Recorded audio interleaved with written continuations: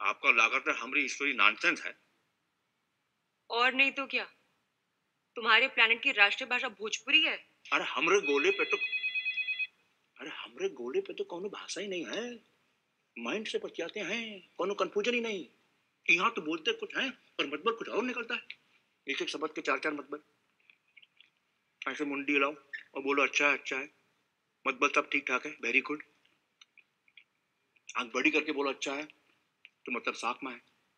तुम्हारी अम्मा का एक्सीडेंट हो गया। अच्छा साफ़ फिर गुस्सा आता है तो आवाज़ लोड हो जाती है। अच्छा हमको सिखा रिया है। अच्छा। और जब सोचते हैं तो लंबा वाला अच्छा। अच्छा।